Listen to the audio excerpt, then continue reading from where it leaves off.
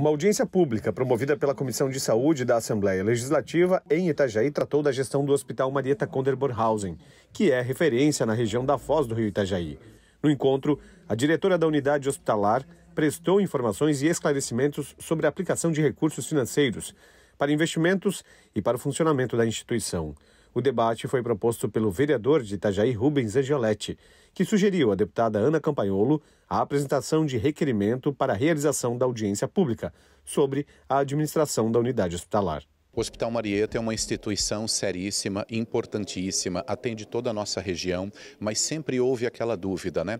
Quanto entra de recurso no Hospital Marieta? Quantos são esses recursos? Qual é o município que contribui ali? Quanto o Estado repassa? Quanto o governo federal repassa? Onde é utilizado esse recurso? E essa audiência pública é exatamente nesse sentido, da gente buscar essas informações, da gente trazer transparência, da gente saber qual a real situação financeira do hospital hoje que tem enfrentado dificuldades né, ao longo dos últimos anos. A intenção da audiência pública é dar mais transparência sobre a aplicação dos recursos públicos na estrutura. Importante mencionar que a Assembleia Legislativa cumpre, então, o seu papel de estar mais próximo do cidadão catarinense ao realizar essa audiência pública aqui. E este nome já diz, né? audiência pública é o momento em que nós podemos ouvir não somente as autoridades que representam o hospital e representam também organizações uh, do município, da cidade, mas também o cidadão comum. O diretor técnico do hospital hospital afirma que o momento é uma forma de aproximar o hospital da comunidade. O custeio da unidade hospitalar, com uma receita de 14 milhões, tem uma despesa de mais de 16 milhões de reais. A cobrança é salutar, é importante essa cobrança. E, a gente sabe disso, a gente sabe que a gente tem que progredir muito.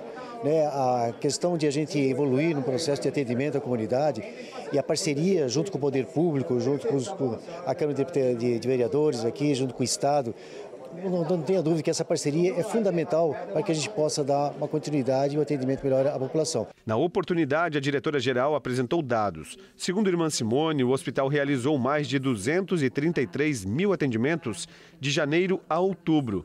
Desse volume, 203 mil foram pelo SUS, o restante por parte de convênios.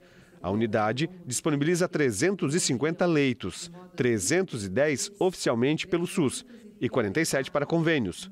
Para isso, são mais de 1.300 funcionários, dos quais cerca de 330 são médicos e 40 residentes. Tem um atendimento bastante robusto.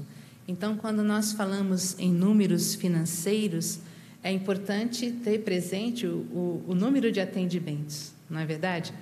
Porque, bom, nós podemos receber 11 milhões do município, né? É, temos o, o, dinheiro que é colocado aqui no município pelo Ministério da Saúde. É, podemos receber esse valor do município, nós vamos ver que a conta é até um pouquinho maior, porém é esse atendimento que esse dinheiro suporta. Até agora foram mais de 19 mil internações, 3.500 partos, mais de 2.800 pacientes em UTIs e 906 em UTIs neonatais. A religiosa apresentou dados sobre a nova estrutura erguida, intitulada Madre Teresa, que conta com 15 andares.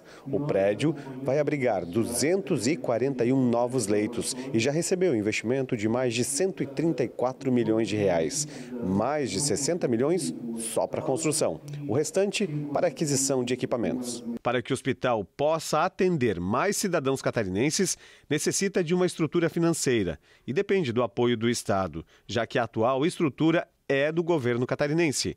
A administração do Hospital Marieta é por parte de uma instituição religiosa. Em relação ao novo hospital, a expectativa é que passe a funcionar a partir do primeiro semestre do ano que vem.